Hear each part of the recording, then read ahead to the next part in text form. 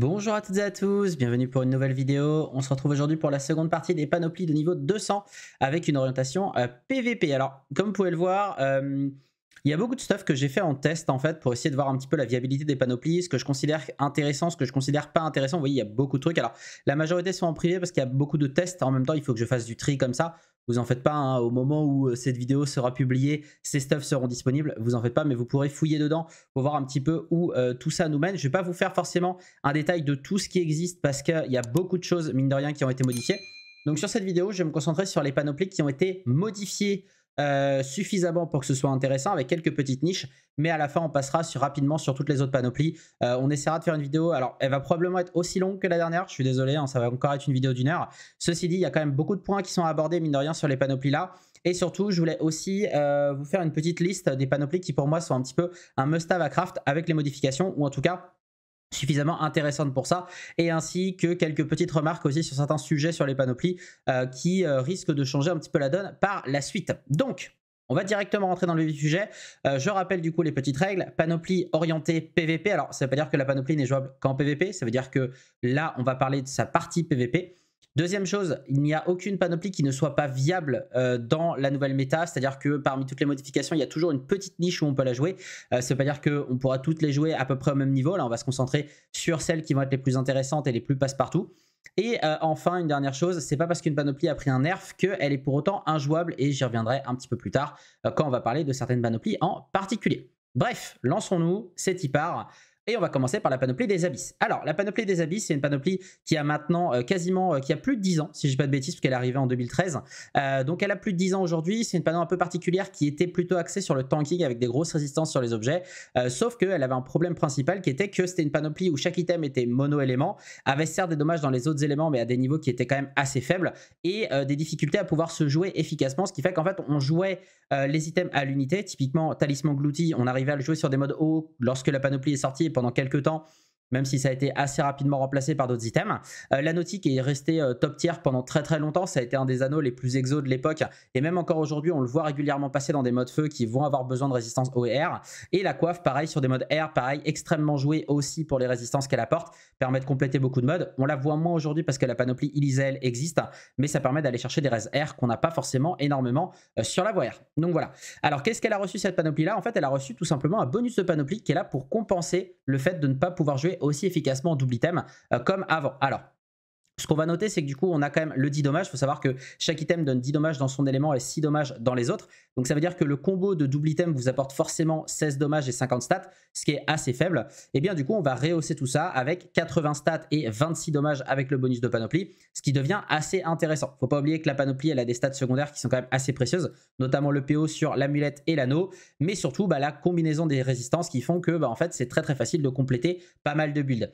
Donc voilà, donc on va essayer de rehausser ce, double item comme ça. Le triple item est aussi intéressant puisque là, le up de stat est un poil meilleur. On a toujours le PA, bien sûr, du bonus de panoplie. Mais surtout, on a un petit truc qui est assez intéressant, c'est quand vous cumulez les résistances des items, eh bien on peut voir qu'on a 10% terre qui sont offerts par les items, qui sont sur l'amulette. Ensuite, 20% feu, 20% eau, 20% air. Et le bonus de panoplie vient essayer de rehausser ça en rajoutant le 10% terre qui fait la différence pour que équiper les trois items vous octroie un 20% partout. Ce qui fait qu'en fait, on a une semi-panoplie Anris qui est capable d'offrir un gain de résistance assez conséquent tout en ayant quelques stats en plus, euh, à contrario de forcément un peu de vita par rapport à la Anris et les résistances critiques. Cette panoplie-là, elle va s'inscrire dans deux niches particulières. Le premier, c'est que c'est un double item qui passe dans beaucoup de situations, notamment le combo amulette et anneau qui passe sur tous les modes feu, eau et feu eau euh, du jeu à l'heure actuelle. C'est-à-dire que vous jouez avec une base euh, sur le mode eau, bah, vous pouvez très facilement jouer talisman glouti anotique.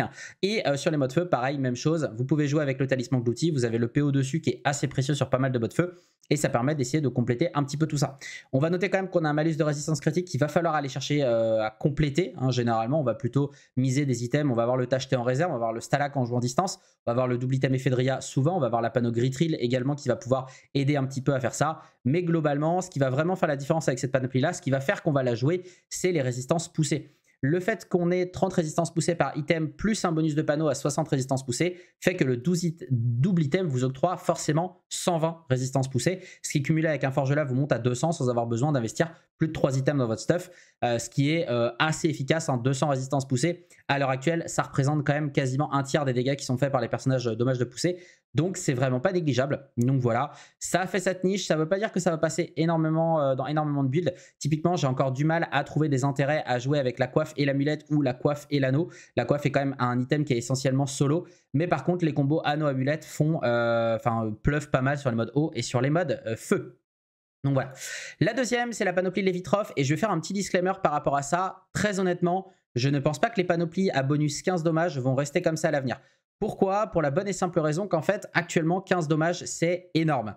Il faut savoir que ces panoplies-là ont reçu des ups dans d'autres stats qui sont assez élevés. Pour moi, 10 dommages, c'est suffisant. Euh, ça ne veut pas dire pour autant que ça va être un giga nerf. Pour autant, hein, c'est pas, je vous dis pas de ne pas crafter la panoplie. Juste restez sur vos gardes parce qu'à mon avis, ces panoplies-là vont pas rester. Euh, je pense à la Levitroph, mais on va parler d'autres panoplies dans le même style juste après. Vous en faites pas et vous allez voir ce que je vais exprimer avec tout ça. Donc historiquement, la panoplie Levitroph, c'est une panoplie qui est plutôt axée Sadida et Nutroph. On va avoir les invocations sur euh, l'anneau et la coiffe. On va avoir en plus de ça un bon bonus de fuite qui est assez précieux sur ces deux classes et on avait le bonus initiative qui était assez intéressant. Le bonus de panoplie, historiquement, il donnait déjà un PO, donc ça permettait de compléter la faiblesse que la panoplie euh, avait justement avec l'absence de ce PO là. Et à côté de ça, en termes de stats, eh bien, on se retrouve à avoir un 150 de base qui est rehaussé à 180 avec le bonus de panoplie. Sauf que du coup, on a aussi le gain de dommages. Sauf que le truc, c'est que la Lévitroph, les dommages de base sont pas faibles en fait. Hein. On a 15 dommages sur la coiffe, 15 dommages sur les bottes, qui pour des items qui sont tri-éléments est plutôt pas mal. Un anneau à 10 dommages qui est pas si, pas si fréquent que ça. Hein. Sa faiblesse, c'est essentiellement les résistances. Donc, euh, ça fait qu'on a quand même un total de 55 dommages en triple item, ce qui est honorable pour l'utilité. Cependant, ce qui va vraiment faire la force de cette panoplie-là, c'est justement le cumul de résistance supplémentaire. Quand vous regardez un petit peu les items, on a 10% air, on a 6% feu, 8% terre. On n'a pas de résistance eau de base sur les items, mais du coup, on va compléter avec un petit bonus de résistance eau, le petit bonus de résistance feu qui permet de monter à 12% feu en cumulé, et le petit bonus de résistance terre qui permet de monter à 14, ce qui fait qu'en fait, équiper la full panoplie vous octroie 14% résistance terre, 12% feu, 7% eau et 10% air. Ce qui fait qu'en fait, on va avoir une base de résistance avec une base de dommages et de stats secondaires qui vont être assez intéressantes, notamment l'apport de fuite de chaque item, l'initiative, les invocations, etc. Ce qui fait qu'en fait, cette panoplie-là, elle va pouvoir se jouer sur des modes mono-éléments, terre, feu ou eau, sur des modes bi-éléments, terre, feu, terre, eau ou feu, eau, et enfin sur des modes tri-éléments où on va chercher à compléter ça avec d'autres panoplies multi-éléments notamment la indicible qui marche assez bien dans cette euh, optique, et du coup de pouvoir aller chercher des petits bonus comme ça. Ça marche aussi avec l'aurore pourpre dans une certaine manière si vous voulez jouer avec seulement double item euh, Levitroph, mais par contre faites attention, c'est pas aussi plaçable que d'autres panoplies. La suivante, c'est la Camastérix, dans la même veine que ce que peut proposer la Levitroph, à savoir les 15 dommages, le PO aussi, pareil encore une fois, et à côté de ça, on va aller chercher l'esquive PA qu'on a naturellement sur les items, le retrait PM qu'on a naturellement sur les items, le bonus 1000 initiative, pourquoi pas. Les résistances critiques, pareil, on en a un petit peu euh, sur les items. On n'a pas forcément des montants qui sont extrêmement élevés, mais ça marche. Mais du coup, pareil, encore une fois, ce cumul de 15 dommages sur des items qui sont certes un petit peu plus faibles en dommages que, euh, ce que peut proposer la Levitroph, puisque là, ici, on n'a que 36 dommages de base, mais on monte à 51 avec le bonus de panoplie, sur des items qui sont pour le coup un peu plus péchus niveau résistance. On pense à la cape qui est l'une des rares capes avec autant de résistance sans avoir de malus. Hein. C'est le seul item de la panoplie qui n'a pas de malus d'ailleurs.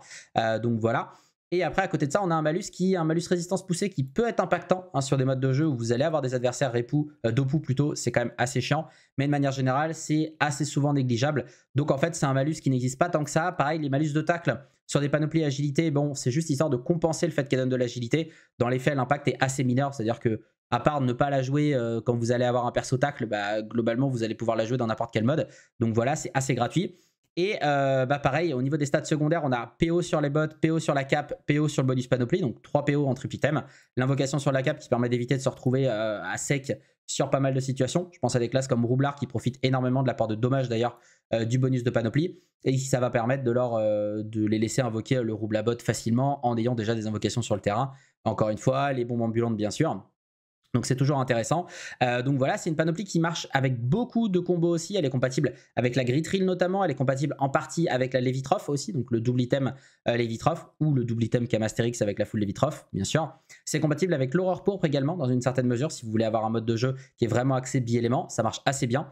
Euh, donc voilà, on va pouvoir aussi la jouer sur des modes qui vont être plutôt full air où on va jouer par exemple avec de l'Ilisael ou de la Vallée Vénard par exemple, ce genre de choses. ça va permettre de compléter pas mal de builds en ayant toujours cet apport de dommages supplémentaire qui fait qu'elle n'est pas négligeable. Mais en plus de ça, pareil, on a toujours ce petit gimmick d'avoir des résistances euh, en plus. Là, pour le coup, les 10% haut n'ont pas tant d'impact que ça, dans le sens où on a déjà 10% haut sur l'amulette, donc on passe à 20% accumulé, avec 10% feu, 7% terre et 10% air. Honnêtement, si la panoplie donnait des résistances terre, plutôt, elle aurait été beaucoup plus forte que les 10% haut.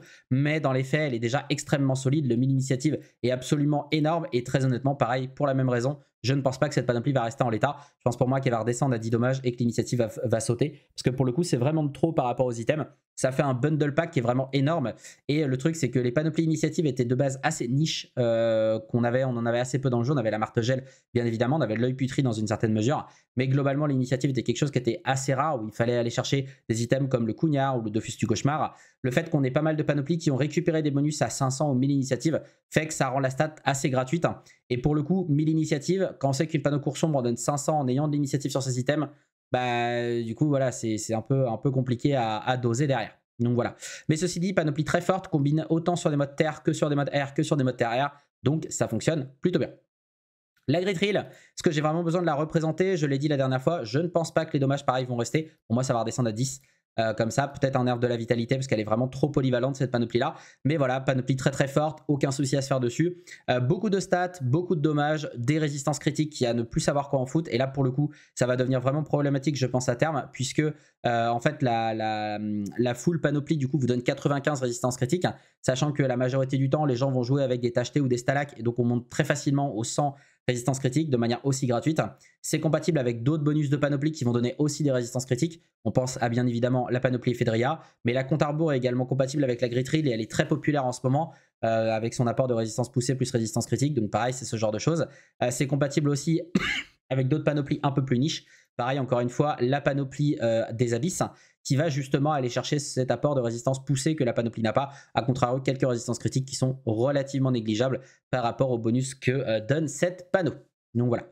La suivante, la petite panoplie œil putride, même logique, les mini-initiatives. Cette fois-ci, pour le coup, c'est une panoplie que je pense va rester comme ça. C'est un combo que je trouve assez cool, même si je trouve dommage que le bonus de résistance soit en triple item et pas en double item parce que euh, c'est clairement une panoplie qui en aurait besoin, pas seulement par rapport à la coiffe, mais par rapport à l'utilité du double item. En fait, il y a beaucoup de comparaisons avec la mise à jour, où en fait c'est compliqué de la placer aussi efficacement qu'avant.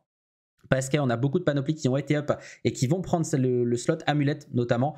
Euh, parce que forcément, bah, l'aurore pourpre a aussi une amulette, euh, mais l'indicible a aussi une amulette. Donc dans cette idée de tri-éléments, c'est toujours un peu compliqué de lutter contre ces panoplies-là. Elle va quand même avoir une niche qui est assez intéressante, qui est que c'est une panoplie tri-éléments compatible en partie avec l'esprit euh, salvateur aussi, de la même manière que l'aurore pourpre d'ailleurs. Donc on a quand même cette niche qui est utilisable. D'ailleurs, on peut jouer euh, full, euh, full œil putride plus 4 items aurore pourpre et rester, rester viable. Donc voilà, excusez-moi.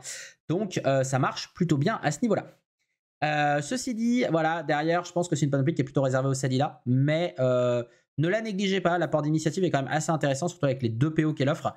ça permet de compléter beaucoup de modes. Euh, ensuite, la panoplie volcanique, est-ce que j'ai réellement besoin de la présenter également? Je pense que tout le monde en a fait une vidéo. Euh, pour le coup, le hub de la panoplie volcanique, même remarque, je ne pense pas qu'elle va rester comme ça. Je trouve l'apport de résistance vraiment trop élevé. Pour moi, elle devrait donner 10% feu, 5% terre. Euh, c'est vraiment, vraiment trop élevé. On se retrouve à avoir euh, du coup 17%, 17% air, mais avoir 20% terre, 15% feu, 7% eau. Vraiment, c'est un, double item qui est extrêmement, extrêmement fort. Le combo cap plus, plus bot ou amulette plus cap, qui est assez populaire dans, dans la méta actuelle, fait que bah, en fait, le sac volcanique éclipse totalement le voile d'encre dès lors qu'il est joué euh, avec l'amulette volcanique ou les sabots volcaniques. Ce qui en soi n'est pas nécessairement une mauvaise chose, dans le sens où forcément bah, pouvoir se passer du voile d'encre, c'est cool. Le fait est que en fait, elle est tellement devenue forte qu'elle a créé des archétypes à elle toute seule et elle rend certaines classes vraiment trop fortes justement lorsqu'on l'utilise. Parce que bah, pareil, elle est compatible en partie avec la compte à rebours et la Gritril. Donc ce qui fait qu'en fait on a un bundle pack avec le combo euh, full compte à rebours, double Gritril, double volcanique, qui fait qu'en fait même si la compte à rebours donne pas de résistance, bah on a quand même un 25-30% haul parce que c'est complètement gratos euh, de la jouer. Donc voilà, donc personnellement je ne pense pas qu'elle va rester avec ses valeurs de résistance ici. Ceci dit, voilà, c'est une panoplie qui est très forte parce qu'en fait, elle va synergiser avec beaucoup de combos de panoplie sur des double items, autant en mode feu qu'en mode euh, terre pour le coup. Mais euh, à côté de ça, elle va être un petit peu plus niche parce qu'en termes de stats secondaires, on est sur des trucs qui sont un peu plus précis. Le retrait PM, le soin, le tacle, c'est pas des classes que tout, enfin c'est pas des stats que toutes les classes vont utiliser. Je pense à l'Osamodaster qui effectivement en profite, mais en dehors de ça, eh bien euh, ça reste assez limité la majorité du temps. On va juste noter qu'on a une petite invocation sur l'amulette, mais pareil, si on avait un PO sur les items, je pense que ce serait beaucoup plus pratique. Ensuite, la submergée, la submergée, bon, Pareil, j'en ai déjà fait un petit topo la dernière fois. Euh, ce qui la rend forte en PvP, c'est forcément son double item cap plus ceinture. Très très populaire en ce moment, qui synergise extrêmement bien avec l'Elysel et euh, la euh, Vallée Vénard. en plus de ça, le double item du coup vous octroie 10 20% feu, 20% eau, 20% terre, 20% eau, 10% feu. Ce qui fait qu'en fait, en dehors des résistances air qui restent la faiblesse du mode air, bah, on a des stats qui sont complètement over the top. Ce qui fait qu'en fait, si vous avez un petit peu de résistance air sur vos items, typiquement par exemple, vous allez jouer avec le double Ephedria qui va être potence plus je crois que c'est l'amertume de Belladone qui donne les résistances OR. Donc vous allez avoir votre 12% R, vous mettez votre bloc derrière, vous avez 37 fin du game. Et derrière, vous avez quand même votre 40% haul. Donc vous avez un mode qui tank assez bien. Les Volcorn permettent de carry aussi pour aller chercher le 12 PA. Bref, en fait, ça fait très gratuit comme, euh, bonus panneau. Euh, je sais pas honnêtement si elle va rester comme ça pour le coup. Je pense qu'au niveau du nerf, ce serait clairement les résistances feu euh, à nerf. puisque après le reste, bah, les 15 dommages, c'est assez classique quand on n'a pas de stats à côté. Donc voilà, mais c'est des items qui à l'unité sont quand même assez forts. On a un bon bonus d'agilité, bon bonus de coup critique aussi qui est pas négligeable. Des bonus de dommages, des résistances poussées qui sont complètement gratos. Bref, la totale. L'esquive PA qui est toujours présente. Il y a Enfin bref, c'est vraiment un bundle pack encore une fois qui fonctionne assez bien. Euh, la full panoplie, pareil, compatible avec quelques modes, mais c'est pas forcément ce qu'on va aller chercher, notamment parce que la panoplie est trop monodimensionnelle euh, dans le sens où elle donne pas de résistance air et quand même pas de résistance euh, feu. On est très axé résistance terre et eau résistances qui sont déjà extrêmement présentes euh, parce qu'en fait le truc c'est que sur les items air en fait ce qu'on va avoir beaucoup c'est beaucoup d'items qui vont donner des résistances terre et feu d'un côté et eau et air de l'autre. Ce qui fait qu'en fait dès qu'on va avoir des items qui vont être terre eau on va toujours avoir une résistance qui va dépasser et des difficultés à pouvoir compléter les trous. Ce qui fait que la submergée justement elle est là pour dire bah ok regarde je te file un petit peu de résistance feu pour compléter un peu ça mais derrière tu dois quand même aller chercher des items un peu plus pratiques et donc des combos de panoplie qui ont tendance à donner des résistances partout ou euh, des résistances qui vont être en cumulé avec celle-ci bah, vont de suite être moins efficaces. Typiquement, le double Elisel en euh, coiffe plus bouclier, bah, le seul apport que vous allez avoir, c'est les 10% feu de la coiffe. Pareil, le double Valet Vénard en euh, gants plus amulette, bah, c'est les résistances feu de l'amulette, encore une fois. Donc c'est toujours un peu plus compliqué, mais ça reste une excellente panoplie, notamment parce qu'en fait, pareil, encore une fois, cet effet bundle pack avec la résistance poussée et l'esquive PA est complètement gratos. Et puis après, bah, pareil, compatibilité avec des panoplies qui sont très présentes actuellement dans la méta donc toujours facile à réutiliser. Donc voilà. La suivante, c'est l'une de mes panoplies préférées de la mise à jour, la Ardente. Euh, la Ardente, en fait, le hub, c'est tout simplement le fait qu'on ait 15 euh, dommages feu dans le bonus panneau et des résistances maintenant.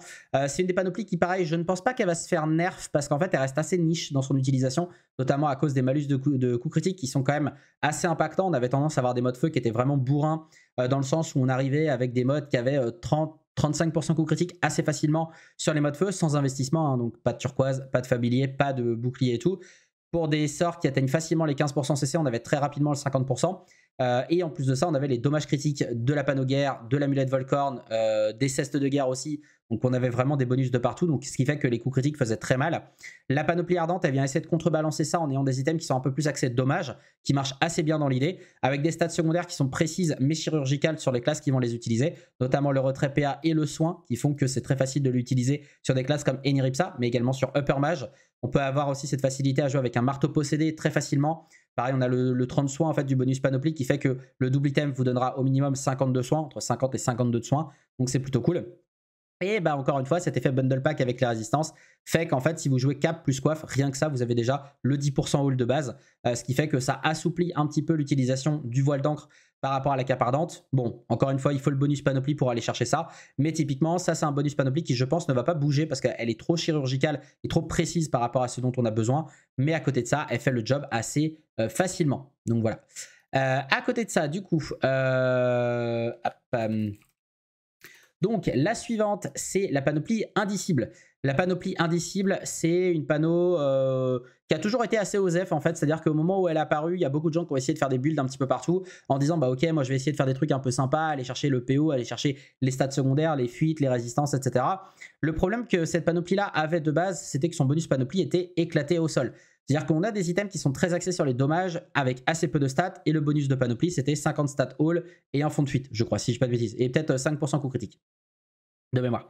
Le truc, c'est qu'en fait, euh, elle a toujours été en concurrence avec les panoplies qui sont sorties un petit peu après. Euh, en fait, elle était en concurrence déjà avec l'Astrigite quand elle est sortie, puisque c'est les mêmes slots de panoplie. Euh, en fait, la seule niche qu'elle va avoir par rapport à l'Astrigite, c'est forcément le fait qu'elle donne de la portée. Mais en termes de stats, ça suit pas. Hein. on n'a pas les dommages qui compensent les dommages critiques de l'Astrigide. Et à côté de ça, pareil, concurrence avec l'Esprit Salvateur un peu plus tard. Et maintenant, c'est l'Aurore Pourpre qui est présente. Le truc, c'est qu'en fait, le bonus panoplie maintenant est passé sur un bonus de dommage avec un apport de PO aussi qui est assez intéressant. Ce qui fait qu'en fait, le double item euh, vous donnera du coup euh, bah, entre, euh, si je dis pas de bêtises, 47 et 50 dommages all. juste le double item, hein, je rappelle. Donc si vous poussez au, triple item, du coup, excusez-moi, vous montez à 62 dommages partout. Donc c'est plutôt cool, effectivement, de se dire que bah, dès qu'en fait on a besoin d'avoir des dommages, on a le, carry de la panoplie indicible qui certes n'a pas des résistances qui sont euh, folles, on n'a pas des stats qui sont folles, mais en fait on a vraiment ce combo PO, dommage et bonne synergie avec les bonus de panneaux, notamment compatible avec la Levitrof sur le double item, par exemple, encore une fois. Ce qui fait que on va aller chercher des petits bonus de résistance qu'on a sur les nouveaux bonus de panoplie. On va aller chercher quelques items particuliers. Encore une fois, la panoplie Belladone qui marche extrêmement bien avec la panoplie indicible. Et du coup, on va pouvoir avoir des modes qui vont pas forcément avoir beaucoup de stats, qui vont avoir quelque chose comme 600 de stats, ce qui est assez ridicule, on va pas se mentir, mais qui vont taper les 150 dommages de base. Donc c'est plutôt assez agréable quand on a besoin de jouer sur des classes euh, type Upper Mage ou, euh, ou Steamer, bien évidemment, mais aussi quelques classes qui vont juste vouloir profiter des dommages assez élevés. Je pense au Roublard qui va essayer d'aller chercher des modes un peu bi-éléments comme le Terre-Air qu'on a actuellement euh, et donc faire le job comme ceci. Donc voilà, ça donne une petite overview déjà des premières panoplies qui ont été radicalement changées, enfin qui ont été suffisamment changées pour vraiment redéfinir un peu la méta pour vraiment redéfinir un peu, pour vraiment redéfinir la méta. Il y a encore pas mal de panoplies dont on va parler. On va passer directement à la deuxième partie de la vidéo. Et du coup, let's go. Cette partie-là, c'est plutôt dédié à des panoplies qui ont été modifiées, mais qui sont soit suffisamment niche, soit les modifications sont euh, relativement mineures. C'est-à-dire que c'est des panoplies qui vont pas énormément changer en viabilité, qui vont par contre venir très facilement sur le devant de la scène avec ces petites modifs, ou alors des panoplies qui ont été suffisamment changées pour créer des nouveaux modes euh, de manière assez intéressante, mais qui sont suffisamment niche, voilà, pour pas être, euh, pas être ultra méta. On va commencer avec la panoplie Harpie. Alors la Harpinoplie, j'en ai pas parlé sur la panoplie, euh, sur les panoplies PVM. Euh, j'aurais dû, très honnêtement, j'aurais dû. Je regrette en fait d'avoir ignoré deux panoplies. La deuxième, je vais en parler aussi juste après.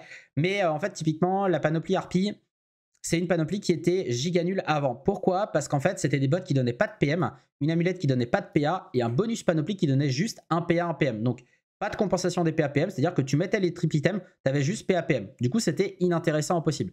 C'est une panoplie qui était énormément basée sur ses stats secondaires, beaucoup d'esquive PM, du tacle, de la fuite, du soin, de l'esquive, des invocations, bref. Vraiment utilitaire secondaire. Le truc, c'est qu'en fait, elle a eu deux ups dans cette mise à jour. Le premier, c'est que l'amulette a récupéré son PA et les bots ont récupéré leur PM. Sauf qu'à côté de ça, le bonus de panoplie, il est, il est passé en mode over the top. On a PA, PM, PO dès le double item. Donc jouer amulette plus bot, c'est assurément 2 PA, 2 PM. Donc vous mettez ça, vous êtes déjà en 9 PA, 5 PM. 10 PA, 6 PM si bien sûr vous jouez avec des exos. Donc très facile d'atteindre le 11 PA, très facile d'atteindre le 12 euh, même dans certains cas. Vous avez euh, plus besoin de jouer avec le Vulbis ou l'ocre. En plus de ça, on va aller chercher des stats secondaires qui sont assez cool, notamment l'esquive hein, qui va automatiquement passer à 50 si on joue le combo amulette et euh, bot, avec toujours cet apport de fuite et de tac qui est assez intéressant, et le petit apport de soin qui va permettre d'être joué sur des modes un peu plus support, typiquement avec le combo cap plus euh, bot qui va permettre de jouer avec des items comme la faume alter, le Thanos et bien évidemment le marteau possédé ou la euh, baguette maléfique. Donc voilà, à côté de ça, on a le PO invocation qui vient pareil, encore une fois, toujours rapporter de l'utilitaire. On a quand même deux PO sur l'amulette. Et à côté de ça, on a le triple item qui là, pour le coup, devient extrêmement fort. 2 PA directement, donc pareil, la full panoplie qui vous donne 3 PA, 2 PM. Donc vous passez automatiquement à 11 PA, 6 PM en ayant juste la panoplie de base. Donc derrière, vous allez pouvoir broder les items dont vous avez besoin en plus. Donc ça veut dire que vous mettez un ocre et vous avez automatiquement 12 PA, peu importe ce qui se passe. Et euh, bah derrière, pareil, encore une fois, vous allez chercher du tag, de la fuite, de l'esquive PA, de l'esquive PM, bref, la totale. En fait, cette panoplie-là, euh, sur le papier, elle paraît quand même assez gaze, hein, parce que bah, on est en mode, bah oui, c'est des stats secondaires, on s'en fout un petit peu. Moi, je joue un perso dégâts, je m'en fous d'avoir de la fuite, du tacle, etc. Sauf qu'en fait, n'oubliez pas que dans le jeu, vous avez des archétypes qui sont plutôt des archétypes de tank, placeur, support, euh, qui vont être là pour euh, faire un job spécifique et ne rien faire d'autre. C'est-à-dire que des classes qui vont pas chercher à taper ou des classes qui vont même chercher à faire zéro dégâts. pourquoi? Parce que ça permet de proc le tacheté, notamment, hein, pour ceux qui ne connaissent pas en gros si votre sort fait zéro dégâts, euh, mais vraiment zéro hein, de base, c'est-à-dire euh, pas de réduction de dégâts, hein, c'est pas votre ennemi un rempart, c'est vraiment votre sort fait zéro dégâts, et eh bien en fait ça considérera que vous n'avez pas tapé de votre tour, et donc vous allez avoir le tacheté qui va donner 300 points de bouclier. Si vos alliés ont un Domakuro, ils vont aussi prendre les 300 points de bouclier, ce qui fait qu'on va avoir un perso un peu poteau comme ça, qui va être là pour gérer une partie du combat, et qui en plus de ça va pouvoir assurer de la défense de manière passive. C'est assez populaire avec les pandas et avec les héliotropes, parce que justement l'hélio a cette capacité à pouvoir ramener quelqu'un assez facilement. Le panda pour la même raison, et en plus de ça, il peut séparer les équipes, hein, comme l'héliotrope d'ailleurs. Et à côté de ça, on va avoir aussi une autre petite niche qui est assez utile dans cette optique-là, c'est le retrait PA. des classes qui sont très particulières, notamment le Xelor qui va pouvoir l'exploiter, dans des archétypes un petit peu retrait PA qui vont être là qui vont être là justement pour aller chercher des stats type euh, bah, de retrait PA sur, euh, sur la pano RP, mais surtout des combos de panoplie qui vont aller euh, chercher des résistances et du retrait PA, des familiers qui vont aller chercher du retrait PA également. Et donc en fait, on a tellement un bundle pack de tout ce dont on a besoin pour des modes support, à savoir les esquives, le tacle, la fuite, qui sont extrêmement importants, les PA et les PM et tout, qu'en fait, une fois qu'on a mis la panoplie RP, en fait, on n'a plus besoin d'aller chercher que des items secondaires. On peut aller chercher un casque Dragov pour les résistances, un rouleau à pâtisserie d'Hermine, un anotique par exemple, ce genre de choses. On peut aller chercher un double item instable avec la ceinture et un des anneaux pour aller chercher l'initiative, le retrait PA, euh, la PO, etc. supplémentaires.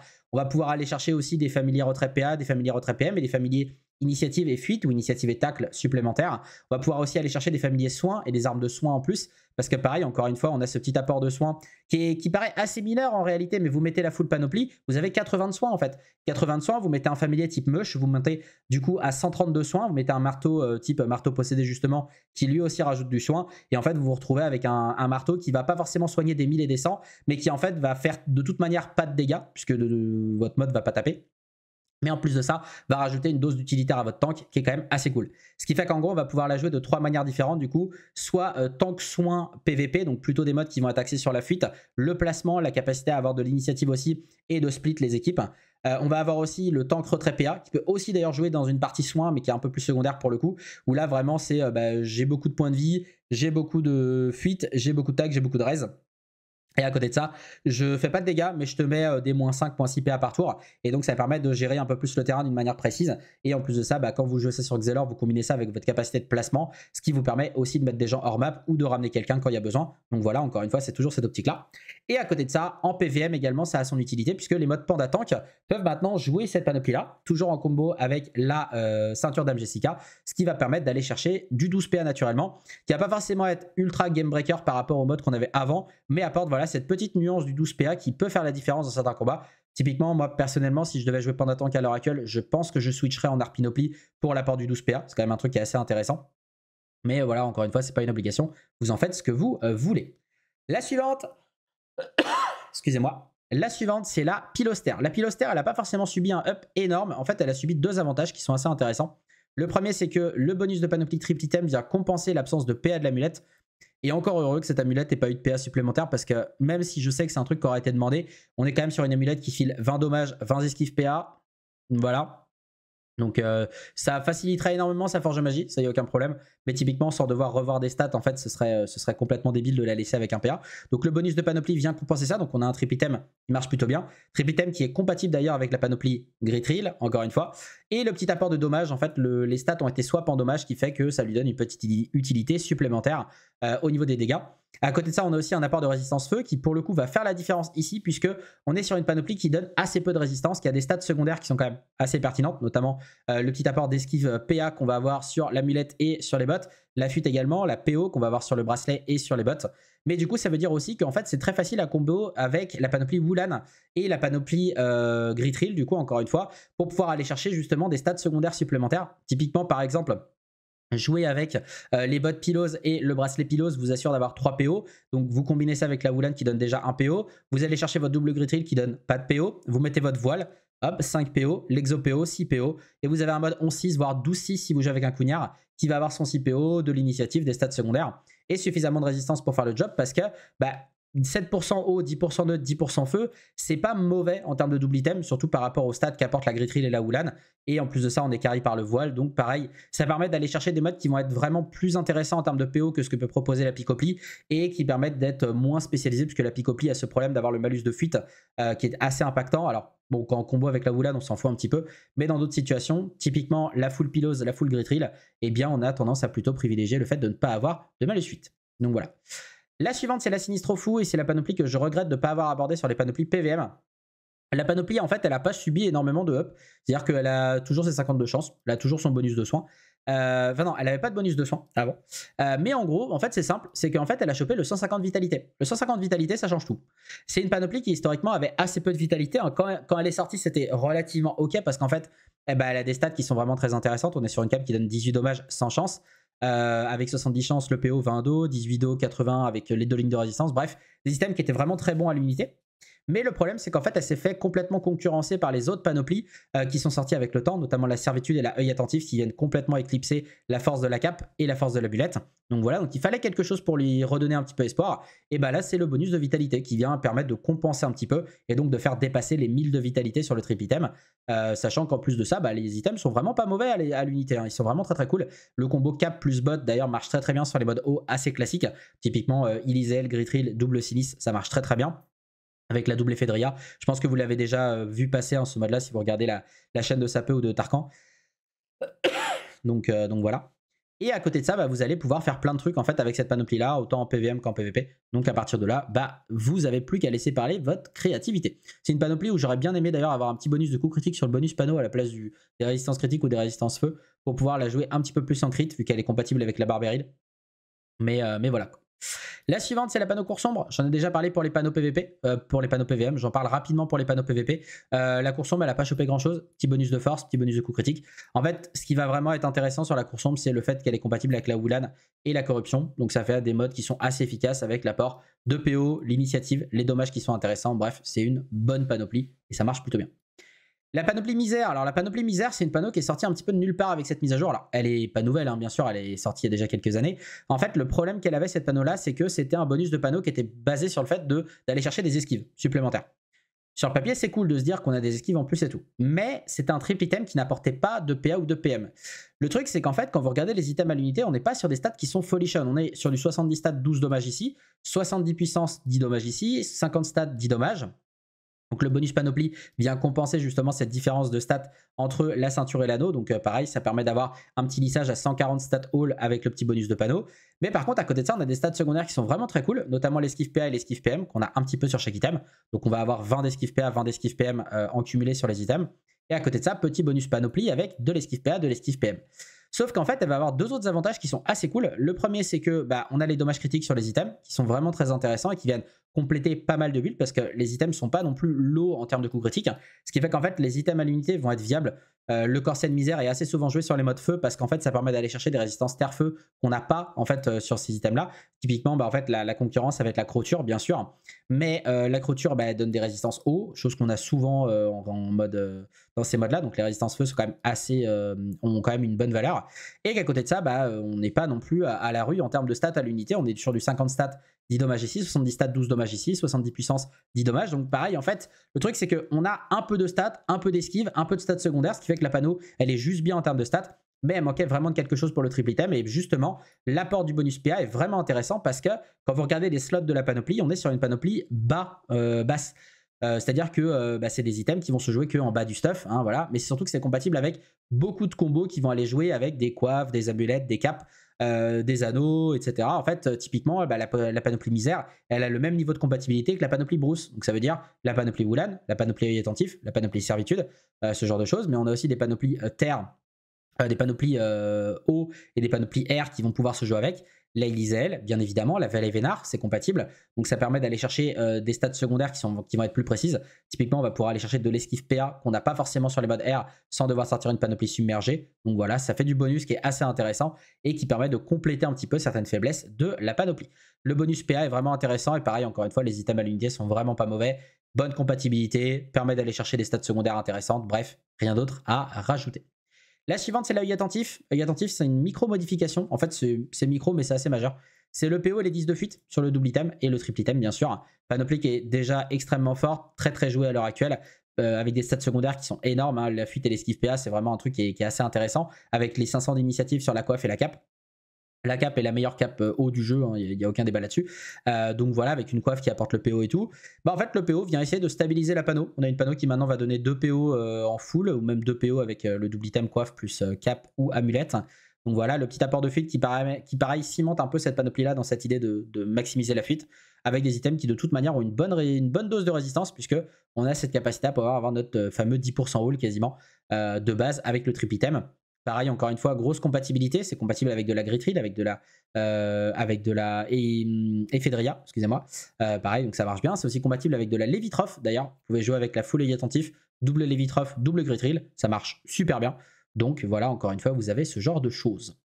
La suivante, c'est son pendant, euh, du coup, donc c'est le, fameux, le fameux mode O 2.0. Donc en gros, c'est la servitude. La servitude, en fait, elle a chopé deux petits bonus qui sont assez intéressants. Le premier, c'est qu'elle a chopé des stats chance dans son bonus de panoplie. Le deuxième, c'est qu'elle est passée en bonus PA. C'est une panneau qui était déjà très forte avant. Hein. Euh, les items sont extrêmement forts à l'unité. On a 100 chance, 20 dommages sur l'amulette. Euh, c'est l'équivalent de l'amulette chocotte, mais avec des résistances qui vont être plus précises le coup, avec des résistances poussées, de l'esquive PM, pour des malus qui sont assez osef, parce que bah, les classes haut retrait PA à l'heure actuelle, il n'y en a pas beaucoup et elles ont clairement mieux à mettre qu'une servitude dans tous les cas, puisqu'en fait, on va aller chercher des stats secondaires qui vont être plus intéressantes. Euh, donc voilà, le malus de fuite qui effectivement crée une vraie opposition avec l'œil attentif parce qu'on est sur les mêmes slots de panoplie. Et à côté de ça, les items à l'unité qui peuvent compléter pas mal de builds parce que justement on a ce côté euh, spécialisation des items avec euh, toujours, euh, toujours cet apport de résistance qui est un petit peu bizarre mais qui fonctionne bien pour compléter des builds et à côté de ça on va avoir cet apport de résistance poussée qui va permettre d'aller chercher bah, justement ce combo résistance poussée qu'on n'a pas forcément sur la voie haut sans devoir aller chercher des items comme le forge de lave ou autre. Donc ce qui fait que bah, typiquement avec la panoplie des abysses, on va avoir des modes résistance poussés sur la voie haut qui vont être vraiment intéressants. Avec toujours cet apport d'esquive PM qui est de toute manière extrêmement présent sur la voie haut, mais qui pour le coup euh, pas euh, n'aurait pas été joué puisque c'est la panoplie Lizel qui, la joue principalement et la panoplie Ravageur. Bah là pour le coup on l'a directement avec la servitude donc on n'a pas vraiment de dépendance aux autres items quand on va aller chercher de l'esquive PM en plus. Personnellement, j'ai une petite préférence pour l'œil attentif pour son apport d'esquive PA que je trouve plus pertinente que l'esquive PM à l'heure actuelle. Mais voilà, c'est une excellente panoplie en termes de stats, en termes de résistance, en termes de dommages. Bref, c'est la totale. En plus de ça, je n'ai pas parlé, mais euh, initiative, hein, pareil, 500, 500, 500, 1500 initiatives en triple avec les résistances poussées. Bref, voilà, c'est un bundle pack encore une fois, ça marche très très bien. Let's go. On va parler euh, de deux dernières petites panoplies avant de passer du coup au récap euh, global. Euh, deux petites panoplies qui pour moi sont assez intéressantes. En fait, c'est vraiment des, modifs de niche hein, pour le coup. Alors, cette fois-ci, c'est une micro-modif qui du coup est utilisée dans un cas de niche puisque c'est les modes dommage de pousser. la panoplie stick a chopé son petit bonus de résistance terre en bonus de panoplie double item avec un petit up de dommage poussé, un petit up de stat. La panoplie stick, on la jouait assez régulièrement dans des situations où on avait besoin euh, de prendre de la PO sur les modes. Typiquement sur des upper mages, on avait tendance à jouer avec des modes stick parce qu'on a cet apport de, PO supplémentaire. Donc là, on va pouvoir le maintenir. Et à côté de ça, bah, fait, on a ce petit bonus d'avoir les résistances terre qui permet d'avoir le combo anneau plus amulette qui va permettre de donner 7% neutre, 10% terre, 7% feu, 7% eau.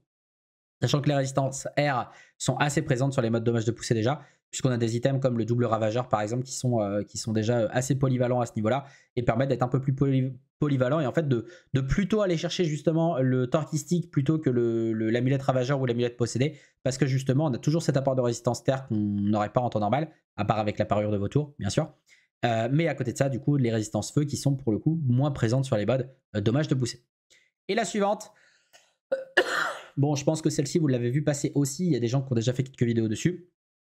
Euh, personnellement, je ne la trouve viable que dans des modes de dommage de poussée, la panoplie cœur vaillant. Mais en fait, en cœur vaillant, elle a ce côté bundle pack, encore une fois, qui certes empêche de la jouer avec euh, les bots cubotés, donc euh, pour ça. Mais en fait, l'apport de 5% résistance all bah, vu que les items sont de base pas non plus trop mauvais en termes de résistance, mais très axés feu-eau, ça permet de compléter un petit peu avec les, résistances terre-air qu'on va pouvoir aller chercher sur des autres items. Typiquement la ceinture urgence qui va apporter le PA supplémentaire, le masque KO qui va apporter le PM supplémentaire, ce genre de choses, ou d'essayer de compléter avec des casques Dragueuf ou autre. Et en fait, du coup, bah, on a euh, ce côté euh, résistance poussée sur les items, euh, dommage de pousser sur les items, dommage de pousser sur le bonus de panneau, normal pour une panne d'Opu. Mais à côté de ça, on va avoir les 1000 initiatives qui est censé apporter le double instable sur ces modes-là ou le colis dur. On va avoir le petit apport de vitalité qu'on est censé avoir sur des modes qui sont un peu plus tanky naturellement, avec des items qui sont bah, plus bourrés en termes de vita. Encore une fois, le collier bave dur, par exemple. Euh, donc voilà, donc ça permet de compenser un petit peu la faiblesse de la panoplie. Et pareil, derrière, le petit apport euh, de euh, le, combo de panoplie, du coup, qui permet d'aller chercher des résistances un petit peu partout. Donc ça reste une niche, clairement, mais c'est une niche d'Opu qui peut fonctionner dans certains cas, parce qu'en fait, elle est compatible avec pas mal de double items qui sont assez intéressants dans, dans la méta actuelle. Le double triton, par exemple mais surtout le double ravageur qui est extrêmement fort, le double possédé, le double. Hmm, il y a tellement de, tellement de panoplies qui sont arrivées, le double barbe étoile aussi d'ailleurs, dans une, moindre mesure. Donc voilà, bref, c'est assez cool. C'est pas non plus game breaker, clairement, c'est pas une panoplie que je crafterais tout de suite comme la panoplie stick, mais typiquement, vous jouez une classe comme euh, Steamer, Zobal ou Upper Mage et que vous voulez faire du PVP, je vous conseille d'avoir une de ces panoplies en réserve euh, pour pouvoir faire un petit peu de mode dope. La dernière, c'est la panoplie Sirmomor. Euh, alors, la panoplie Sirmomor, en fait, a eu une modification qui est peut-être passée inaperçue. En tout cas, j'ai pas vu beaucoup de gens en parler, mais en gros, la panoplie Sirmomor a changé légèrement son malus. Il faut savoir que historiquement, la panoplie Sir, c'est une panoplie qui est très particulière avec un apport de résistance euh, fixe et de résistance élémentaire avec beaucoup de stats enfin avec pas mal de stats élémentaires, euh, de la puissance hein, bien sûr, des dommages, etc. Mais surtout une bonne base de vitalité, du tact, etc. Un côté vraiment euh, tank, euh, tank dégâts, quoi. Pas un berserker, parce que le but c'est pas de descendre vite en, HP, mais vraiment le côté, le côté un peu paladin, en mode je me déplace lentement, mais par contre je prends les coups pendant longtemps et je suis capable d'en donner euh, quand j'ai besoin. Le truc, c'est qu'en fait, cette panoplie-là, c'est pas marqué sur Facebook malheureusement, mais son bonus de panoplie a légèrement changé au niveau du malus PM. C'est-à-dire qu'avant, le malus PM, vous l'aviez dès les deux items. Donc ça veut dire que si vous aviez deux items sur mort, vous alliez avoir deux PM quoi qu'il arrive. Vous ne pourrez pas monter à plus hors combat. Bon, ça veut dire qu'en combat, vous pouvez vous booster PM, il n'y a pas de souci, vous allez avoir votre abyssal par exemple, vous avez vos propres boosts PM en plus. Hein. Euh, typiquement, l'une des classes qui en profitait le plus, c'était le steamer, parce que le steamer, bah, il a le scaphandre et il a le passif de la foreuse qui donne des PM, plus l'aspiration, etc. Mais bref, ça permet de compenser un petit peu tout ça. Euh, et bien là, pour le coup, le bonus, euh, le malus PM est passé évolutif. Et donc maintenant, quand vous équipez deux items de la panoplie Sirmo Mort, vous avez 4 PM. 3 items, vous avez 3 PM. Et à partir de 4 items, vous avez 2 PM restants. Ce qui fait qu'en gros, on va avoir ce côté évolutif qui fait que le double item devient peut-être parfois intéressant dans certains cas, puisqu'on a quand même un apport de résistance qui est assez intéressant avec des stats secondaires qui sont cool et des items qui à l'unité, bah pareil encore une fois, cet apport de résistance, cet apport de dommage. C'est-à-dire que vous équipez avec euh, par exemple la clé mort euh, plus euh, un autre item bah, comme les Amurland par exemple, qui, sont, compatibles avec l'aurore pourpre hein, typiquement, et vous allez récupérer donc ceci, donc un petit 6% haul avec 25 réfixes, avec les 10% air, avec du tacle, avec une grosse vitalité, avec des stats élémentaires qui sont cool, un peu d'initiative et tout, bref, la totale. Donc ce qui marche assez bien dans cette idée-là, le Tristoso est également assez fort, que c'est un très bon item à l'unité, donc, euh, donc voilà. Donc euh, pareil, vous pouvez jouer un petit peu avec ce genre de truc. Et encore une fois, bah, euh, si vous avez des bots PM, bah, vous n'avez pas besoin d'exo PM, puisque vous avez 3 PM de base plus vos bots, et donc ça vous économise quand même l'exo PM, sans pour autant nuire à vos 4 PM. Donc voilà, c'est une petite anecdote voilà, que je voulais placer si jamais vous ne l'aviez pas vu. du coup, bah, si vous avez envie de tester ce genre de mode, ça peut marcher en PVM, typiquement. Donc voilà. On passe à la suite, du coup, qui va être une petite, petite overview des différentes panoplies. Alors, je vais commencer par le bas. On va noter les panoplies qui sont intéressantes, celles, qui vont changer, celles qui ont changé, celles qui vont, être, euh, qui vont être pertinentes à utiliser.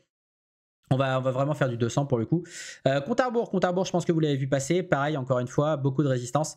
Euh, compatible avec la gritril et compatible avec la hum, avec la comment s'appelle la et la hum, je cherche le nom et la volcanique voilà mode tank assez efficace en PVP euh, marche très très bien en PVM aussi, hein, le mode PVP euh, que tout le monde voit avec euh, la Contarbo Gritril Volcanique est extrêmement forte également en PVM, puisque c'est un mode de jeu un peu tanky avec beaucoup de vitalité et beaucoup de tacle, notamment le fameux seuil du 161 de tacle, qui fait qu'en fait bah, vous allez tacler 100% des mobs qui n'ont pas de bonus suite ou qui ne vous mettent pas de malus tacle, donc c'est plutôt cool.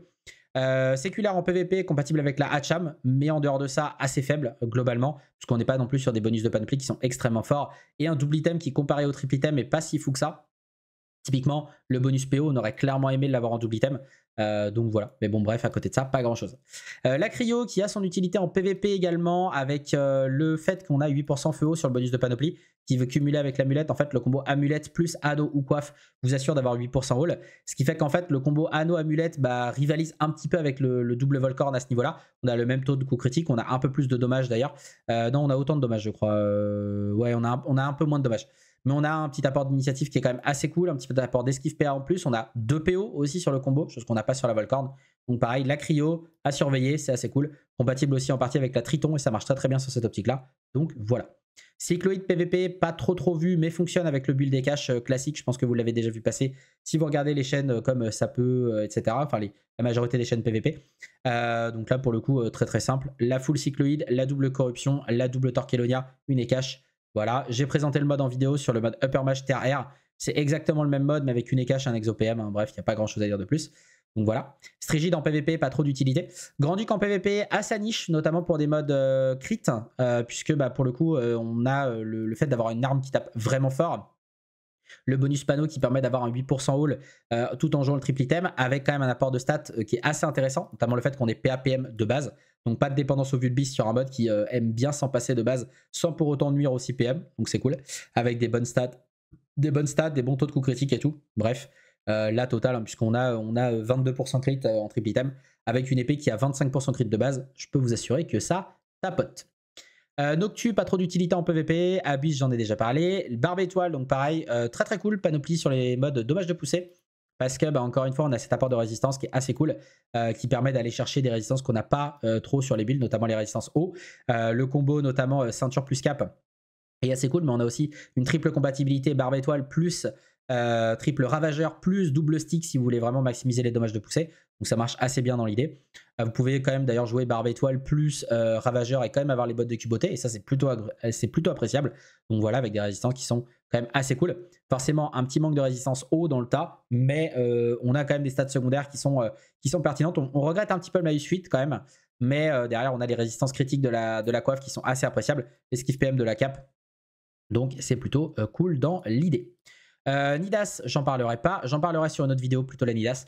Globalement, assez faible en PvP, mais donc voilà. Piloster, Levitrov, Camasterix, ça j'en ai déjà parlé. Gain, Gain euh, un petit peu faiblarde en PvP, notamment parce que le manque de coups critiques se fait énormément, se fait énormément ressentir sur les besoins PvP à l'heure actuelle. C'est-à-dire que, hum, en fait, en PVM, c'est déjà chiant de pas coup critique, mais vous avez le fait que si vous faites pas votre crit, vous avez généralement moyen de revenir sur le combat un peu plus facilement parce que hum, généralement, ne pas faire un crit en PVM, vous n'allez pas finir par être one shot. Le truc, c'est qu'un crit en PvP, ça peut être giga clutch et euh, ça peut vous retrouver. Euh, vous pouvez vous retrouver dans la panade justement parce que vous n'avez pas crit à un moment donné. Donc le fait d'avoir une panoplie sans crit, il faut vraiment qu'elle soit euh, supportée par énormément de combos. Et les combos de panoplie qui vont bien avec la gain en PvP marchent pas aussi bien que, ce qu'on voudrait. J'avais présenté un mode terre-feu hein, sur je vous ai présenté la variante PvP qui est utilisable pour le coup, mais en dehors de ça, très honnêtement, j'ai pas vu beaucoup à ce niveau-là. Donc voilà. Euh, Reine des voleurs, bah, pour le coup, elle a quasiment pas changé. Elle, elle a juste chopé un petit bonus de dommage en triple item. Euh, tout le monde d'ailleurs, quand ils ont vu le up, on était en mode, enfin les gens étaient en mode ouais, mais pourquoi vous avez up la Reine des voleurs Elle était déjà assez forte et tout. Bon, euh, la finalité, c'est que la panneau, on la voit plus. Hein. Clairement, elle a complètement été éclipsée par des panoplies comme, comme la Gritril, justement, ou la Camastérix, ce genre de choses. Donc, on va peut-être la revoir dans une optique où on va vouloir aller chercher des résistances critiques, mais en fait, la panoplie Reine des voleurs, elle souffre énormément du fait d'avoir des résistances qui sont cumulatives sur la ceinture. En fait, il n'y a pas de résistance sur les items. Typiquement, la panoplie, elle aurait 10% feu ou 10% air, elle serait extrêmement euh, utilisée. Aujourd'hui, c'est pas le cas, donc voilà. Euh, Malveilleur, alors elle a quelques niches pour le coup, mais euh, pour moi, elle n'est pas totalement viable en PvP. En fait, le truc, c'est qu'en dommage de poussée, bah, elle est compliquée à placer parce qu'elle bah, n'a pas une compatibilité de folie. Elle a toujours cette compatibilité avec la Ravageur, mais pas sur des niveaux extrêmement élevés. Euh, une, il y a un combo en fait malveilleur ravageur possédé qui fonctionne, mais qui pour moi est pas super viable parce qu'en fait au niveau des résistances ça suit juste pas. Donc voilà. L'apport de coups critiques est pas non plus passe-partout et surtout c'est en concurrence avec la panoplie Talcacha, difficile à placer aussi. L'apport de résistance est quand même assez intéressant ici puisque ça nous fait notre 10% wall, mais sur des items qui ne donnent pas non plus des stats de folie de base. En PVM, on peut, compenser avec des, des trans de stats, mais en PVP, c'est plus compliqué puisqu'on va vraiment aller chercher des Overvita ou des Exorez et euh, du coup, aller chercher des bonus de coups critiques en plus, ça devient compliqué. Catcher, je pense que vous avez vu le petit mode également que peut avait présenté au tout début de la bêta. Panoplie très spécifique en PvP, fonctionne assez bien avec son bonus d'HP. En dehors de ça, c'est vraiment l'initiative, mais il faut avoir un backup au niveau des résistances. Heureusement que la volcanique existe, mais en dehors de ça, pas grand chose à dire de plus. Euh, la panoplie boue, bah, ça fait partie des, des perdantes de la, de la mage. Pareil, les résistances terre et air sont assez intéressantes mais malheureusement très peu de compatibilité, généralement que des, que des doubles items, euh, pas des résistances qui font clutch et des slots qui sont déjà utilisés. Euh, L'amulette, on a le collier bave dur, bien sûr. La coiffe, on a le masque KO. Hein, et euh, la cape, on a les, la parure vautour, en tout cas pour les modes dommage de pousser. Et pour les modes, pour les modes air classique, bah, on n'a pas de compatibilité puisqu'on a deux items qui sont en concurrence avec la panoplie Grand Duc au niveau du, du slot de coup critique distance. Euh, et en coup critique, bah pareil, euh, il y a la cycloïde et la submergée qui existent. En fait, cette panoplie-là, elle arrive à avoir le luxe d'être incompatible avec les deux panneaux. Euh, donc voilà, même pas compatible avec la torquée, bref, la totale. Vraiment, cette panneau, elle a. En fait, elle aurait été intéressante si on avait une misère full air, en fait, une brousse full air. Mais en dehors de ça, pas grand chose à dire. La égarée, égarée, très particulière, mais fonctionne. Après, c'est clairement pas une panoplie clutch non plus euh, intéressante parce qu'elle donne 10% haul avec le bonus de panneau. Esquive PM est sympa, mais euh, utilisé que dans des modes qui sont purement terre-air, puisqu'en mode terre ou en mode air, il y a toujours euh, mieux. Très peu de compatibilité, compatible avec la possédée quand même pour du terre-air, mais en dehors de ça, vraiment pas fou. Donc voilà. Euh, panoplie Vortex, pas grand chose à dire. En fait, c'est une panneau. Elle, elle n'a pas été up, elle n'a pas été nerf. Enfin, elle a été légèrement up sur le soin et le retrait PA. Mais c'était déjà, déjà une bonne panoplie et bah, toujours une bonne panoplie. Euh, Arpinoplie, déjà parlé. Panoplie Gnose, elle, a chopé son petit bonus de dommage, euh, son petit bonus de résistance euh, qui la rend intéressante. Difficile à manipuler sur des modes de dommage de poussée, mais pareil, il peut se jouer avec la parure de vautour et tout, mais pas tant de compatibilité que ça. donc compliqué à placer. Mais par contre, un, double item, double item amulette ceinture qui est extrêmement solide avec les résistances du bonus de panneau, parce qu'on a 7% neutre, 7% terre, 10% feu au R avec ça, donc c'est cool. Avec des dommages de poussée qui sont sympas. Mais pareil, les dommages de poussée, on en a que sur deux items, donc compliqué à manipuler quand on a besoin de jouer Dopu avec ça. Par contre, très très bien sur des modes Dopu feu ou, feu ou eau. les mono-éléments plus Dopu sont très très forts avec cette panoplie-là. Euh, notamment parce que la panneau, elle est double, enfin, le double item est compatible avec la pastèque et ça marche très très bien. C'est compatible aussi avec la Glourson qui marche très très bien aussi avec cette panneau. Donc pareil, toujours assez intéressant à ce niveau-là. Notamment, il y a des modes euh, eau plus soin, typiquement avec euh, la full pnose plus double Isael avec un marteau possédé. Ça fonctionne assez bien à ce niveau-là. Faux marin, légèrement up de stats. la panneau était déjà cool, elle est toujours cool, rien d'autre à dire. Vol de l'or, plutôt axé PVM comme panoplie, mais fonctionne aussi en PVP. Ceci dit, c'est clairement pas une panoplie que je mettrais en PvP en l'état, euh, puisque bah, euh, les items sont cool à l'unité, hein, l'amulette et la ceinture sont bien, mais les bots ont vraiment un poids énorme en PvP, parce que bah, même si on a un gros apport de coups critiques, on n'a pas de résistance, on n'a pas de, dommages critiques comme la ceinture ou l'amulette, ce qui fait qu'en fait on a ce côté euh, monodimensionnel des bots, et en plus de ça on a une grosse concurrence sur les bots air mine de rien, donc euh, voilà, en tout cas sur les bonus de panoplie ou, aller chercher des stats secondaires. Euh, Kongoku, rien à dire, c'est une panneau qui est toujours euh, restée faible. Roi joueur, petit bonus avec les résistances terre qui permet de compléter un petit peu les manques des items à l'unité. Parce qu'en fait, on a, on a 10% feu aware sur les items, donc 10% terre, c'est cool. elle est compatible en partie avec la volcanique, elle est compatible avec la annual aussi. Ça permet de créer des modes assez sympas. Ceci dit, malus 8 sur les items commence à avoir de plus en plus de poids sur ce genre de mode. Et à côté de ça, on a très peu de stats secondaires en dehors de la portée le retrait PM étant assez anecdotique sur des modes terre-feu en l'état. Et surtout, bah, pareil, toujours cette discussion de compatibilité avec la, la corruption et la cœur saignant. Et en fait, bah, elle n'est pas compatible avec la full corruption. Elle n'est pas compatible avec la full cœur saignant. Dans cette optique-là, c'est compliqué. La panoplie d'Amazar, bah, en fait, c'est une panoplie qui souffre toujours de l'absence de coup critique de l'amulette. Sinon, en dehors de ça, les items sont cool. Le double item cap plus bot avec le bonus de panoplie fait qu'on a. Euh, 10% feu air et 7% terre eau, avec le petit PO, avec des stats secondaires. Panoplie intéressante sur le papier, je ne sais pas si elle, va vraiment être utilisée, mais sur des modes haut crit, vraiment haut pur crit avec la Wulan, euh, peut avoir son, son, peut se démarquer du reste, euh, à juger sur la durée, mais je pense que ça peut avoir euh, son intérêt. Chaleuil en PvP, pas très très intéressante. voilà, c'est une panoplie multi comme une autre. Valet Vénard, Nerf et pourtant toujours top tier. Donc voilà. La Hacham, euh, bah, le bonus de résistance a carry littéralement tout le reste de, la panneau parce qu'en fait on a un slot euh, compatible euh, qui est extrêmement fort avec le combo amulette plus, pas amulette mais cap plus sabre.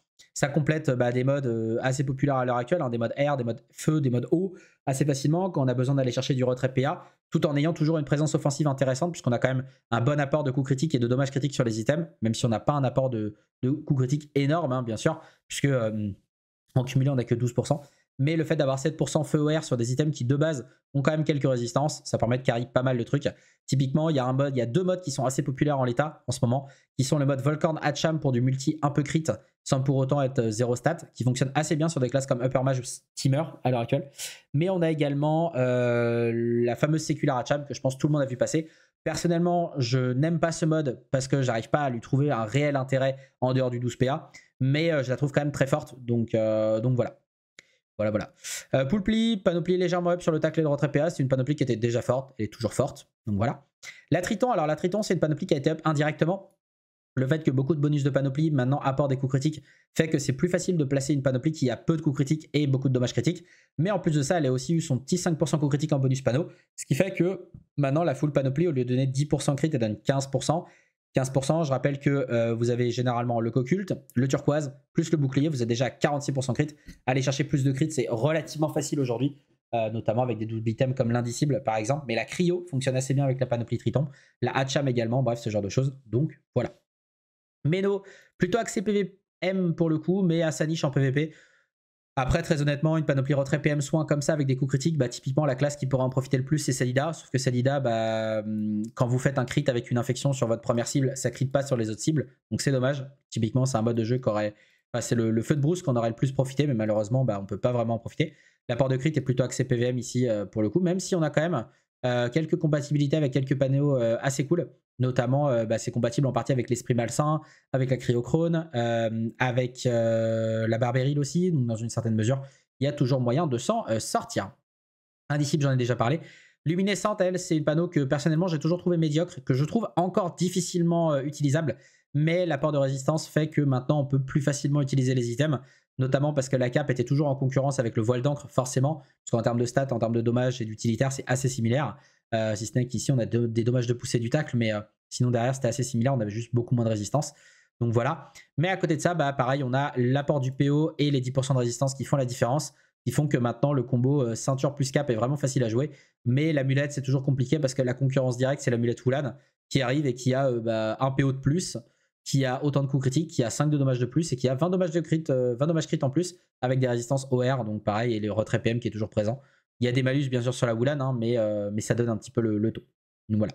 Euh, Relio Glouglou, pas grand chose à dire. Panoplie qui était déjà OK avant, qui est toujours OK aujourd'hui. Qui se fait up indirectement par, du, par d'autres panoplies d'ailleurs, notamment des panneaux comme l'Esprit Salvateur, comme, comme la Hacham aussi dans une certaine mesure. donc à voir comment ça se passe pour la suite. Je la place pas en top tier, mais elle est intéressante. La Talcacha, bah, le problème c'est que c'est une panoplie qui aurait clairement mérité un bonus de coup critique, mais elle ne l'a pas eu. Elle a un bonus de retrait PA, donc euh, inchangé par rapport à avant. Panoplie Stick, j'en ai déjà parlé. Panoplie Anris qui, elle, aurait pu se faire up indirectement du fait d'avoir beaucoup plus de coups critiques sur les items, mais dans la réalité, compliqué à placer. Euh, intéressant quand même d'avoir euh, la compatibilité avec la Triton en partie, notamment le combo bouclier cap qui aide beaucoup à avoir des coups critiques sur la panoplie Triton. Mais bouclier du coup purement défensif, qui devient difficile à manipuler quand on a besoin de jouer une classe qui a vraiment euh, besoin d'avoir les, 10 ou enfin les, les 14 ou 15% de dégâts distance d'un 4 feuilles ou d'un stack ou les 15% mêlés d'un Idizel. Donc, euh, donc voilà. Mais euh, elle, a, sa niche, elle l'a toujours, donc c'est cool. Panoply Ghoul, alors elle, elle a chopé un bonus de stats qui est assez important sur le triple sur le double item et sur le triple item. c'est un double item qui est très très simple à placer, hein, le combo bouclier plus anneau qui était déjà présent avant. ça l'est encore plus aujourd'hui. Après, euh, moins 15% reste mêlé, il faut l'assumer, hein, mais sur des modes de jeu distance, ça marche assez bien. Très très bonne panoplie pour contrer les purs d'ocrit. Et en plus de ça, bah pareil, le bonus de stats qui la rend un peu plus viable dans beaucoup de situations. Donc voilà. Euh, pareil, encore une fois, très bonne compatibilité aussi. On a une compatibilité avec un triple Volcorn qui fonctionne assez bien ici.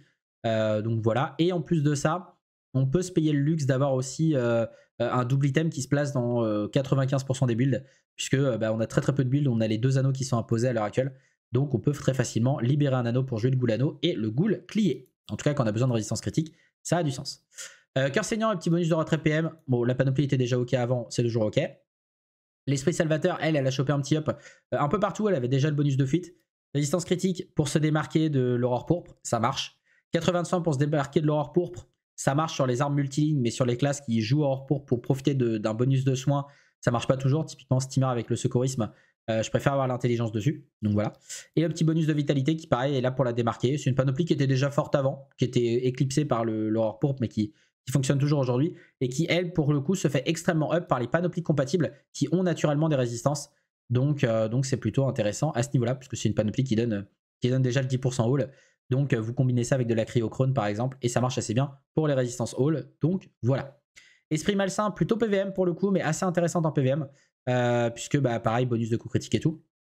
En PvP, honnêtement, je ne trouve aucune utilité. Les items sont pas assez forts. Euh, voilà, on a. En fait, c'est une panoplie qui aurait beaucoup gagné à avoir un 10% haut sur son bonus panneau.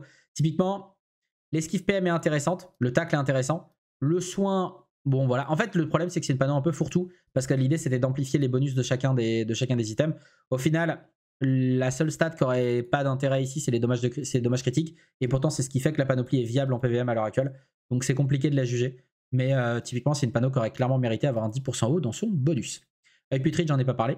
Enfin, j'en ai déjà parlé plutôt. Ilizel, bah, panoplie nerf est toujours extrêmement puissante. Donc, comme quoi, bah, c'était pas uniquement les stats. Donc, voilà. Euh, Brulam, bah, elle, elle va surtout fêter sa compatibilité avec la Wukong possédée qui est toujours aussi forte. Donc voilà, euh, double item qui fonctionne très très bien avec un bonus de stats maintenant qu'on n'avait pas avant. Donc pareil, c'est cool. Triple item qui par contre va peiner à s'utiliser puisque forcément, il bah, faut une bonne compatibilité, il faut un intérêt à jouer ce triple élément là. Euh, donc voilà, que ce soit un mono-élément de chacun, euh, ça reste compliqué. Que ce soit un triple item, c'est compliqué aussi. Bethel, alors la Bethel, elle n'a pas chopé un giga up, mais elle a chopé pile ce dont elle avait besoin. C'est-à-dire euh, un bonus de fuite en bonus panneau, l'invocation en plus, le PO en plus, bref. le PO, elle l'avait déjà, mais c'est juste surtout des stats et l'invocation. Ça la rend un petit peu plus facile à utiliser sur des modes de jeu retrait PA. C'est une panoplie qui avait déjà des bonnes résistances et des bonnes stats. Bon, elle aurait clairement apprécié avoir un 10% terre sur le bonus de panoplie, mais en dehors de ça, ça fonctionne plutôt bien. Euh, la Martegel, bah pareil, elle se fait up parce qu'elle a les 1500 initiatives de base, mais qu'à côté de ça, elle a maintenant la fuite, l'esquive PA et les stats. Très bonne panoplie avant, très bonne panoplie après, rien à rajouter. Volcorn, alors la Volcorn, c'est celle qui a le plus changé, mais en réalité, elle a quasiment pas changé. Le bonus panoplie quadruple item est vraiment devenu intéressant maintenant. 200 stats, 20 dommages, 5% all. C'est pour ça justement que la Volcan d'Acham devient intéressante puisque on a cette compatibilité entre les deux qui est assez violente pour avoir des modes un peu crit, tri éléments et tout. En dehors de ça, le 4 item est vraiment difficile à manipuler. C'est une panneau qui mériterait clairement d'avoir un PA, un PM en 4 items pour être vraiment viable. Mais en dehors de ça, ça tourne. Après, ceci dit, si elle chope le PM, je pense qu'il va falloir virer les résistances parce que le 15% haul sur une panneau qui n'a pas de cap de, déjà de base, ça devient quand même assez fort. Panoply Pastèque, euh, bah, j'en ai déjà parlé sur les modes PVM, c'est la même chose en PVP, si ce n'est qu'on a les modes Dopu en plus. Plutôt des modes haut Dopu d'ailleurs et feu Dopu, plus que des modes pur Dopu puisque bah, on a cap et coiffe dans le bonus de panoplie et bot. Donc euh, bot cuboté, parure de vautour, masque KO ou casque dragueuf. Compliqué à jouer. Donc voilà. Euh, panoplie chocomancien, plutôt panoplie, euh, panoplie tank ici. Bonus de tacle, PAPM, on a des résistances qui sont quand même assez cool sur les items. Parce que bah, 7% neutre et haut, neutre R ici, 10% neutre, 7% R, 10% neutre ici, 15% résistance. Pour un malus de dommage distance qui forcément n'a pas trop d'impact sur les, personnages mêlés, fonctionne très très bien sur les sacrés tanks. Et pareil, bonus PAPM qui la carry pas mal, surtout sur une panneau qui a un bouclier. La panneau est compatible notamment avec euh, la Anris, pareil, euh, enfin en partie avec la Anris, donc euh, ça permet de la jouer très facilement à ce niveau-là. Compatible aussi avec la Catcher d'ailleurs, pour avoir des gros bonus de vitalité derrière. Donc voilà. lunaire, bah, pas trop viable en PvP pour le coup. pas, de, pas, de, pas reste sur les items, pas de reste sur le bonus panoplie, plutôt une panneau PVM. panoplie guerre qui a pris son malus de fuite, elle est toujours aussi forte, vous en faites pas. Euh, panoplie corruption qui est encore plus forte en double item parce que bah, le, double item maintenant donne 5% euh, crit. J'en ai déjà parlé sur les modes PVM, mais euh, en gros, compatibilité avec la, cycloïde et avec la, la torquée, pareil, toujours forte. Panoplie Wookin et Wukong qui ont chopé des dommages de poussée sur le bonus panneau. Oh, ça change rien. Très honnêtement, ça change rien. Le triple item Wookin est difficile à placer parce que c'est un bonus PM avec des slots qui sont quand même assez impactants en fait en bonus PM. Euh, donc voilà, la Wukong, euh, par contre, elle, euh, bah, les dommages de poussée fait que jouer la cœur vaillant la rend encore plus compliqué puisque bah, la, la, est juste mieux dans la majorité du temps. Donc voilà. Mais en dehors de ça, bah, c'est une panneau qui n'a pas trop changé à ce niveau-là. Et là, on arrive aux panoplies qui n'ont quasiment pas changé. Wulan est toujours top tier parce que les panoplies compatibles sont top tier. La possédée est devenue un peu moins forte, mine de rien, depuis que la Ravageur existe, mais elle est toujours assez solide. la Pandemonium est devenue encore plus forte parce qu'il y a encore plus de panoplies compatibles intéressantes. Ravageur, même chose. Aurore pourpre, même chose. En carton, on s'en fout, c'est pas jouable. Malédiction de Sirmomor, j'en ai déjà parlé. Et Fedria, même chose que Relique, Ravageur et tout. Plus il y a de panoplie compatible, plus c'est intéressant. Et même si on a eu un nerf du bonus de panoplie, ça n'a pas trop d'impact, ça tourne toujours très bien. Donc voilà. Euh, bon, bah, j'espère en tout cas que, ça vous aura plu. On a fait quand même pas mal de pas mal sur pas mal de trucs. Euh, voilà, je vous laisserai l'accès à ma bibliothèque. Je vais faire un peu de tri là euh, d'ici à ce que la vidéo sorte pour que vous puissiez y avoir accès assez rapidement. donc voilà, donc vous en faites pas, ce sera mis en description de la vidéo, bien sûr.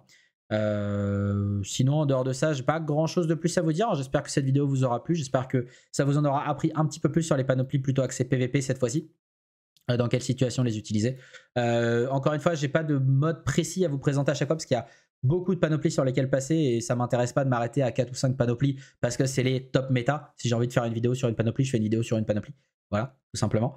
Euh, on se retrouvera de toute manière la semaine prochaine pour les panoplies qui ont le moins profité justement de ces modifications. Et là, pour le coup, je rentrerai un peu plus dans les détails, mais de toute manière, ce sera une vidéo qui sera beaucoup plus courte et beaucoup plus légère, parce que clairement, j'ai pas envie de, m'amuser à faire 36 euh, heures de vidéo, 36 heures de contenu vidéo chaque mois. Ça me prend suffisamment de temps et ça me prend suffisamment de pression aussi à faire. Donc voilà. Euh, je suis ravi en tout cas que ces vidéos vous, vous plaisent et qu'elles continuent à avoir du succès d'ailleurs. Hein. Je suis toujours un peu stressé à chaque fois que je sors une vidéo d'une heure, mais là ça fait la troisième et ça fait la troisième que vous m'explosez les stats, donc c'est cool. N'hésitez pas à lâcher votre, euh, si vous êtes resté jusque là, encore une fois, je vous remercie. N'hésitez pas à lâcher votre petit, euh, votre petit pouce bleu et votre petit commentaire encore une fois. Ça aide au référencement, puis ça me permet de voir aussi quel contenu vous aimez sur la plateforme. On arrive à la fin des vidéos sur les panoplies. Alors en réalité, c'est loin d'être fini puisque je vous annonce aussi ça que bah, du coup il y aura une vidéo qui sera dédiée aux euh, panoplies, euh, mauvaise panoplie, donc ça je vous en ai parlé euh, juste après. Mais du coup, il y aura aussi une panoplie sur les modes multi-docrit. je voudrais faire un petit épisode spécial sur les multi-docrit 2.0 de la refonte des panoplies et pourquoi c'est loin d'être une révolution. Pourquoi la panoplie cycloïde est pas si forte, pourquoi la indicible est pas si forte, pourquoi la gain n'est pas si forte, bref, ce genre de choses. Donc on en parlera un petit peu plus tard à ce niveau-là. Et je vais relancer aussi une autre série que j'avais déjà fait il y a quelques mois, mais qui du coup se retrouve pas mal chamboulé avec les changements de panoplie, qui est les stuff low cost. On aura l'occasion de refaire un petit peu euh, le tour de chacune des voies élémentaires sur euh, les prochaines semaines. Sur ça, bah, écoutez, je vous remercie encore une fois d'être resté jusque-là. Et je, voulais, je vous dis à la prochaine. D'ici là, portez-vous bien et puis ciao tout le monde.